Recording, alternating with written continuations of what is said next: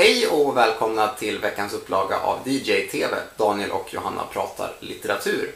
Och eh, den här veckan tänkte vi att vi skulle prata om eh, den stundande bokmässan. Mm, som en liten föråkare nästan. För vi är ju lite spända och förväntansfulla nu. Nu ska Mhm. vi åka dit på Mhm. onsdag. Mm, redan på onsdag sen eftermiddag så drar vi eh, sydväst.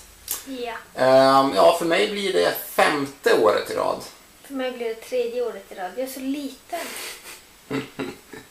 Ja, jo, nej, jag tror jag har varit där varje år sen, sen eh, min eh, sen Danny Boy kom ut. Mm. Ehm, och det, här, är- det här är första gången jag kommer att vara där under hela mässan. Mm, så det är lite nytt. För torsdagen är ju annars eh, lite fackdag då det är väldigt mycket lärare och bibliotekarier och, och, och andra liksom, människor som håller på med litteratur i olika former. Allmänheten får ju inte ens komma in egentligen. Ja, nej, men vid 14, för klockan 14 på fredagar så släpps då allmänheten in. Men trängseln är ju väldigt stor redan på torsdagen.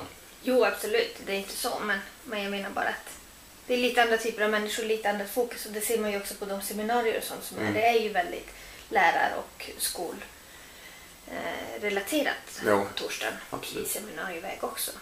Nej, jag hoppas ändå faktiskt i år kunna gå på en, en hel drös. Oho, ja. Är det något speciellt du vill se? Mm, Lyssna. ja, alltså, jag, fakt, faktum är att jag, um, Svensk Bokhandel, tidningen, alltså branschtidningen Svensk Bokhandel har ju eh, kommit ganska sent tror jag det här har kommit till.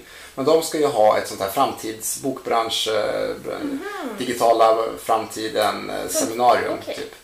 Som skulle vara en, en och en halv timme tror jag. Oj, det var länge. På, redan klockan kvart över nio på torsdag morgonen.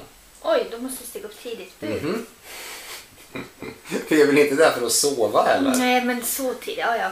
Ja. Eh, Sen ska ju du och jag också ha ett, ett seminarium. Eller du och jag, det lät ju lite... Ja, Det är många fler än bara du och jag. Men vi ska prata, vi ska vara med i samma panel. Ja, och som ju också handlar lite grann om det här. eh, Kanske inte så mycket om digitaliseringen men det är ett seminarium som anordnas av eh, Kraft och kultur som handlar om Och Vulkan. och Vulkan. Det Eh, behövs förlagen va? Ja, precis. I vilken roll ska, har förlagen i framtiden och sånt här. Eh, så det, ja, alltså det ska bli spännande. Mm, och det är på fredag vi Klockan tre på fredag eftermiddag. i Kraft och kultursmonter, de har ju en jättemonter. Ja, de har ju ett hela, helt rum. Ja, de har ju hela, vad heter den, V-hallen. Ja, Det är ju helt galet. ja, man hoppas ju att folk hittar dit. Det var ju första året de hade den här V-hallen förra året. Ja, och då var Och- det ju inte så bra. Nej, det var de som, de, då var det ju en massa små, små förlag och, och sånt som ställde ut där och då var de ju rätt missnöjda Just många det, det blev ju till och med några baller och de ville ha pengarna tillbaka hur det var. Ja, för det hade var- varit dåligt skyltat tyckte de och, och, och, och, och de hade inte blivit informerade i förväg om hur pass liksom, svårt det skulle vara att ta sig dit. Alltså Nej. förhållandevis då, Ja. utifrån, utifrån hur de, alltså de två stora mässahallarna. Men då blir det intressant att se hur, hur Kraft och kultur klarar sig i år. då. De Ja. ska ju ha jättemycket grejer. De ska ju ha band som spelar och det är ditt och datten. Ja, både dagtid och kvällstid Mm. så ska de ju ha det. De ska ha DJs och sånt på kvällarna. Just det, Jessica från Bokora ska ju DJa. Ja, just det. Det ska vara något battle där. Eh, vad ser du fram emot annars då? Jag vet faktiskt inte. Alltså, jag har knappt hunnit titta vad det är för seminarium. Jag ska ju hålla ett stort seminarium själv på söndag klockan två. Ja, just det. När jag redan har hunnit åka hem. Ja, med, ihop med de andra bokorna. Och sen har vi lite monterframträdanden också. Eh, Men eh, så jag har faktiskt inte tittat så mycket på vad, vad alla andra gör utan jag har liksom fokuserat på vad jag själv ska göra. Mm.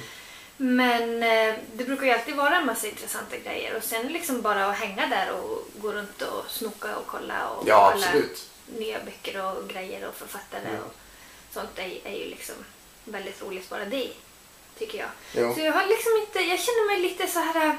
Jag, vi brukar alltid vara så himla organiserade och planerade och liksom veta vad vi, vilka författare vill vi se, vilka seminarium vill vi gå på liksom och sådär och ha koll. Och nu i år är det lite annorlunda eftersom vi släpper själva och då, så då har man När hon säger släpper själva så menar hon då att de kommer med en bok i oktober.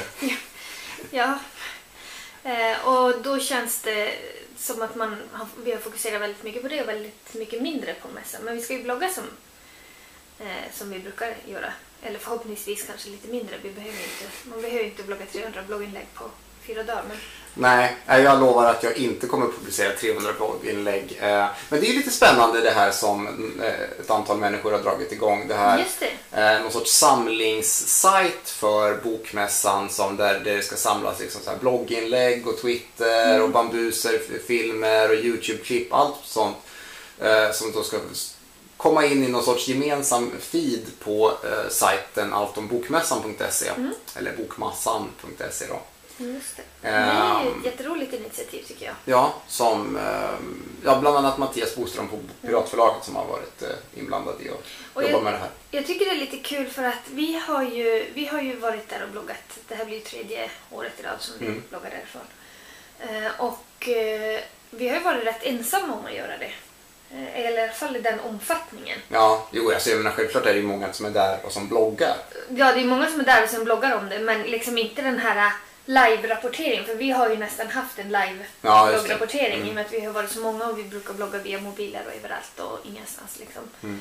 Eh, Så jag tycker det är jättekul att det nu faktiskt är fler som som också kommer att blogga och twittra och göra grejer. Förra året fanns ju inte Twitter på det sättet. Nej, det var ju inte så många som visste vad Twitter var då. Nej, Så, men, nej, men det, det, det, är ju- känns, ja. det, det känns jättespännande och jätteroligt eh, tycker jag. För att jag tycker själv det är ganska roligt att läsa vår bokmässeblogg för att bara hålla koll på vad de andra gör. Och då är det ju roligt om det finns ännu fler där inne som, Jo.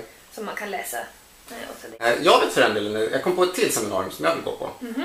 Eh, De här eh, tre killarna som hade debutantbloggen, eller har det. debutantbloggen, Mm. som då är min gamla kollega Kalle Dixelius och Augustin Erba samt Kevin Frato.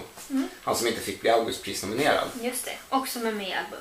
Som, ja just det, som även dyker upp i eh, Bokhoras bok. Eh, som, ja, han fick inte bli Augustpris, eh, han fick inte ens bli anmäld till Augustpriset för att boken som han hade skrivit som kom ut alldeles nyligen på Kabusa inte ansågs vara tillräckligt svensk för då den är till hälften skriven på engelska.